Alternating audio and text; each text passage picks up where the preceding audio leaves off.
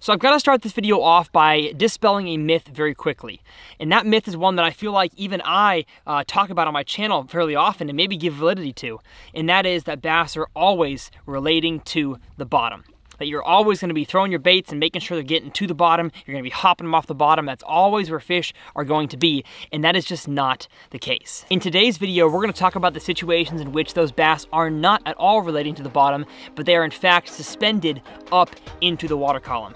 Where to fish for those fish, and of course, how to catch them. My name is Tyler Anderson, and let's talk about it.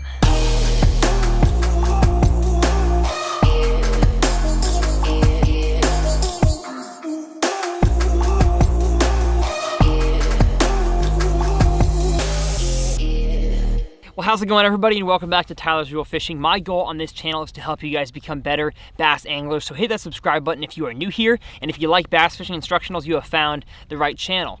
And so as, you, as I talked about in the intro to this video, this video is all about suspended bass. How to catch those fish that oftentimes, at least in my experience, are some of the trickiest ones to catch. So we're gonna kind of go over, I have my notes here on my phone. We're gonna go over kind of three main points. Uh, why bass suspend, in which situations I find that bass will not relate to the bottom. They will suspend off the bottom. Two is going to be how deep those bass usually suspend. And three, of course, how do you catch those fish? Now make sure you guys stay tuned to the end because we have some incredible fish catches with some big Texas bass coming. So with that said, let's hop into the learning. So starting with number one, why do bass suspend? I think there are four main reasons, and I really can only think of four total reasons why bass suspend in the water column. And I'm I'm going to go in order of, I think, the, the most likely uh, reason for those bass to be suspending in order of most likely to least likely. So situation A is going to be a change in the forage they are eating. I think when you have fish that are feeding on, on, crawfish or kind of more bottom dweller forage species, and then whether it's scarcity or just time of the year, they transition more to a uh, pelagic sort of forage, so a, a, you know a shad, a cisco, a bait fish of some kind. That is when you're going to find fish don't relate to the bottom as much, but kind of float up into the water column, sit there and feed. Situation B is going to be increased fishing pressure any place you go around the country nowadays, you're gonna find more and more fishermen than ever before. And that is great. I'm super happy that fishing is growing, but that does mean that fish are seeing more and more of the same lures that you are throwing. And I have found, especially in, in big lakes, when fish see the same lures on the bottom all the time, they're just not going to sit on the bottom. They may still feed on the bottom, but they're not going to actually make their dwelling, their life, on the bottom of the lake, and so they're going to suspend. So when they see the same Senkos, jigs, crankbaits, oftentimes you're going to find that they uh, float up into the water column. And by float, I don't mean like they're dead and they float up. I mean like they fill up their, their water bladders to certain equilibrium where they can actually sit higher up in the water. Situation C is going to be a water change. So whether you're talking about a water temperature change or a water color change, that can cause those bass to suspend. The most likely way that I found bass suspend when it comes to water change is a dropping in the water temperature. I don't think a, a super fast increase in water temperature is going to cause them to, uh, to suspend, but definitely a drop in water temperature will. That is why you find in the summertime, those bass are oftentimes super deep, sitting out there on brush piles, rock piles, and as the water gets colder and colder throughout the fall, and the winter hits, those bass are almost always suspending in the water column. And situation D is going to be a weather change. What I mean by that is a uh, usually barometric pressure switch from high to low or low to high that can affect those fish. I've just found that it is the least likely to affect how fish sit in the water. Moving on to point number two. Let's say you're out there fishing and the fish have been biting consistently on, let's say, a, a Texas rig creature bait for the last two weeks. And then all of a sudden, whether it's a weather change, water change, you know, increased fishing pressure, those fish just don't bite the same lures they used to. And you've tried everything else when it comes to fishing on the bottom. It's time for you to start fishing up in the water column for those suspended bass. But no matter where you are in the country, you're going to have a variance of water depth. So I don't care if you're in a pond, uh, a creek, a river, a stream, there's going to be variances in how deep those fish can suspend. So, so that leads us to ask the question, how deep do those bass suspend in my body of water? And sadly, I really don't have an answer for you because depending on where you are in the country, your water clarity, your depth in general, the bass can suspend really in any depth of water. And as you're gonna see in these fish catches here at the end of the video, I caught fish on this body of water in two weeks, two or three weeks apart from each other in super deep water. And then today those fish were also suspending, but they were suspending higher up in the water column as the day got along. And so those fish could change by the hour. And so the one thing that I can say or I guess really two things. Uh, first is that those bass are going to follow the forage. So if the forage, the, the bait fish, the shad is deep, they're most likely going to be suspended deep. And if the forage is shallow, usually they're going to be shallow. But the number one thing that you guys can look for in your bodies of water is something called the thermocline. If you've been around bass fishing for any amount of time, you've probably heard of the term thermocline. And even myself, until last night when I watched a bunch of videos to prepare for this video, I didn't quite know what the thermocline was. I just knew that one thing was true about it, and it was that bass do not sit below the thermocline. It's basically impossible to find bass that are sitting and living underneath the thermocline. Now, I did some research for you guys, and the thermocline is actually the area where hot water on the top and cold water on the bottom meet. And it just forms this very, very dense area where the water temperature changes drastically drastically from warm to cold, and you find almost no oxygen down below that thermocline. And really the only way to see a thermocline is on your fish finder. I'll insert some pictures here on the screen of what a thermocline looks like. It is usually a thick band, almost looks like interference or a ton of bait fish. That's usually what the thermocline is. A few key things about the thermocline. Uh, one, they're not found in rivers or streams. Any sort of flowing water, even uh, bodies of water with a, a lot of wind or wind current, you're not gonna usually find a thermocline because that allows basically anywhere from the top of the water column all the way to the bottom to be the same temperature so you're not going to find a, a difference uh, in temperature there that merits a thermocline. The thermocline is definitely going to be found deeper in clear water than it is in dirty water, just because sunlight can get down to clear water and heat up kind of deeper in that water column more than it can in dirty water. And the experts whoever they are, the article I read, uh, they say that the thermocline uh, forms in the summer when you have that, you know, super hot sun warming up that water in the upper side of the water column, but it can't quite reach down to the bottom. That's where the thermocline forms. And then as the fall continues uh, and cold fronts start coming in, the thermocline flips. It's called the turnover.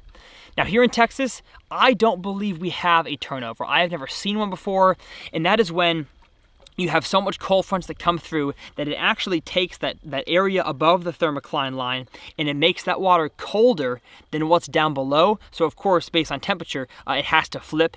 In Texas, I found that we just don't have that many cold fronts in a row. And so you're just gonna have your temperatures kind of slowly start to gain equilibrium to each other and the thermocline kind of dissipates. So with point number two, you know, how deep do those fish suspend? Of course, it depends on where the thermocline is and where those bait fish are, all depending on your body of water. So point number three, and the purpose of why you guys are probably here on this video, is how do you catch those suspended bass? Now that we know why they suspend, how deep they suspend, and all the factors that impact those two things, how do you catch those bass? And to be honest, we've gotten to the difficult part. Catching suspended bass is definitely not an easy task. In my experience, it is the hardest thing to do in bass fishing is to catch fish, at least consistently, that are sitting higher up in the water column.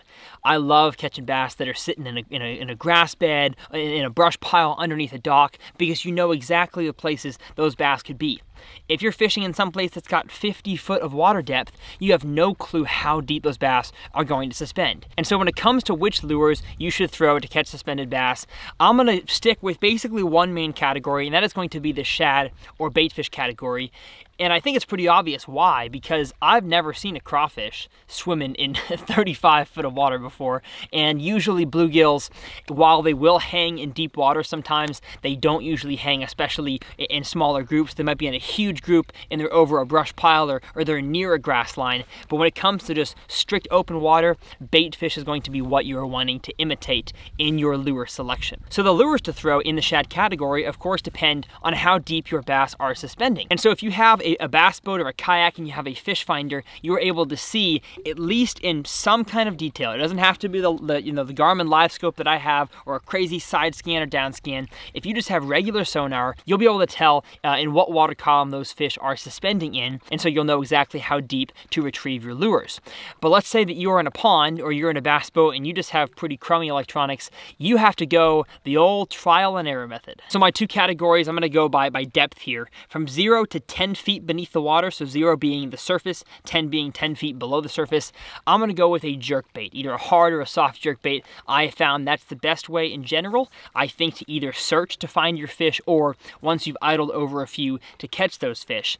And then when it comes to anything over 10 foot, your opportunities broaden extensively. So I'm gonna, I'm gonna read off some of my favorites here. The Alabama rig, a spoon, whether it's a flutter spoon or a jigging spoon, crankbaits, uh, some sort of single head swim bait. You've got a chatterbait that I'll even throw a little bit deeper. Really a lot of stuff opens up for you uh, in that 10 plus depth category. And I'm not saying you can't throw an A-rig or a spoon in that 0 to 10 category. I've just found that I usually throw jerk bait uh, and that's most effective for me catching those higher up fish that are suspending. And the last tip that I have for you guys before we hop into some fish catches is that you have to keep your lures above the bass's eyeballs. Because bass are sitting here in the water column, their eyeballs are out here on the top of their head, they can't see your lure and maybe they can sense it, you know, because of their lateral lines or whatever, but I found that most of the time a bass will not hit a lure and I've watched them do it on my graph before. A bass will hardly ever go down to eat a lure, but they will almost always at least come up to check out your lure because they can see it. And so if your bass are suspending in 15 feet of water, don't throw your lure in 17 feet of water. Throw it in 15 to 10, maybe even a little bit higher than that. I like to keep it within, you know, two to five feet of those bass's eyeballs because especially in clear water, they can find that bait from a long ways away. But I think it's just a confidence thing for them. They don't want to have to go down to find something. They want to go up. I think it's a lot easier for them, both confidence-wise and probably bodily, to actually swim up to see your lure. So hopefully you guys enjoyed that learning portion of the video. Now, like I mentioned at the beginning, we have tons of awesome fish catches from here on this body of water, from Alabama rigs to spoons to swim baits and everything in between on some big old lunker Texas bass. So we'll see y'all next time. Got him on the A-rig. Saw him? No, I didn't even see him this time. Oh, oh, bacon. That one just came out of nowhere. I just cast to where I knew they were suspended. Got him. Mm, is it grande? I don't think so. Just flailing around. Oh, it's oh, it's oh, it's nice. It's nice. It's nice. Wow. Yeah. I'm gonna both of them. Oh, yes, sir. Let's go. Wow. Alrighty. Nice one on the uh, on the A-rig. They were suspended right there in I don't know 15, 17 feet of water, and that fish came up and nabbed it. Thanks, buddy. There's not much thermocline anymore. Oh, holy cow. My gracious. Oh. Got him? Oh, had him? Yep. Oh my goodness, big one too. All right, look at that. That's such a healthy fish. Holy smokes. This is awesome. We are on top of some fish right now.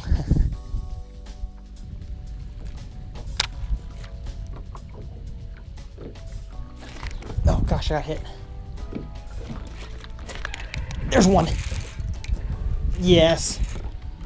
Bigger one. Also got him foul hooked. I got a foul hook. that's a big one.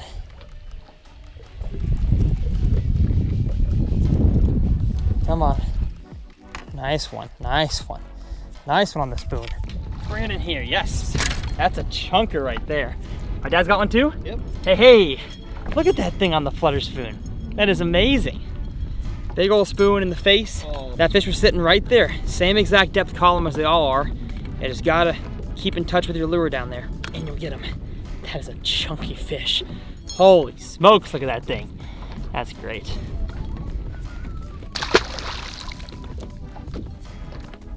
Oh yeah, come on. Oh, it is an A-rig day. wow. They are higher in the water column than I think they are. That's crazy. That is crazy. They have risen. They have risen indeed.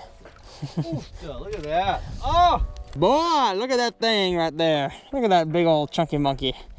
Ah, yes. What a day. What a time, what a year. Got him. Got him, got him, got him, got him. Just a good sized fish. Oh, that's nice. Let's go. Oh. Oh, the chunky dunk. Of that boy right there. Beautiful. Plunk. fish. Got him? Yep. Nice job. Nice. Oh, big one? Nice. That's the biggest one of the day, maybe? Yeah. Hey, hey, clam, clam, clam. Go clam, though. That's a nice one. That's a nice one, Daddy. Woo! Look at that fish. nice one. Love it.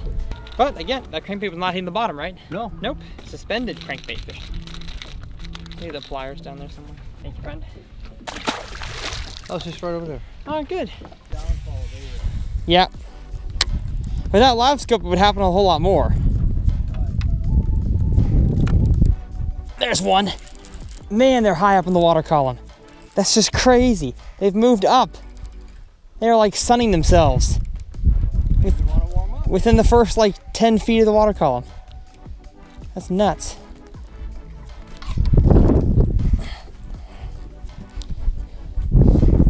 Oh, spin, spin, spin. We get something shallower there? That's awesome. Um, no. Yeah, scroungers.